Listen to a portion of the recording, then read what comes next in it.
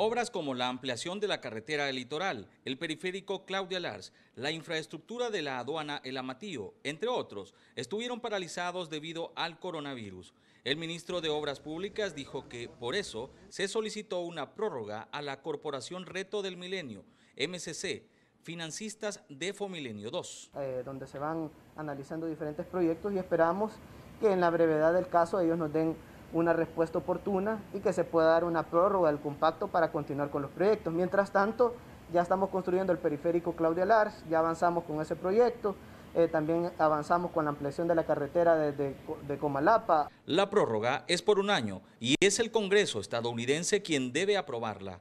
De lo contrario, estarían en riesgo de perderse los fondos que otorga la MCC. Una prórroga que ya se pidió, ahorita está en Washington eh, la decisión, esperamos de que ellos nos lo puedan dar. Eh, eh, obviamente la coyuntura nos ha afectado a todos los países, a toda la región, nuestro país no es la excepción de eso.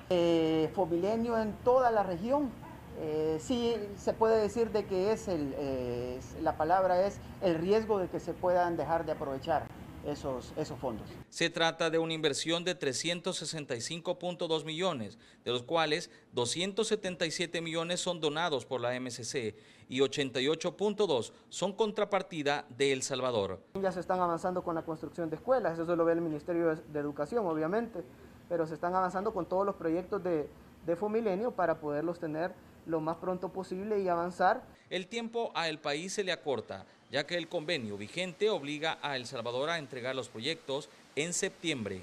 Para Teleprensa, Canal 33, Víctor Hernández.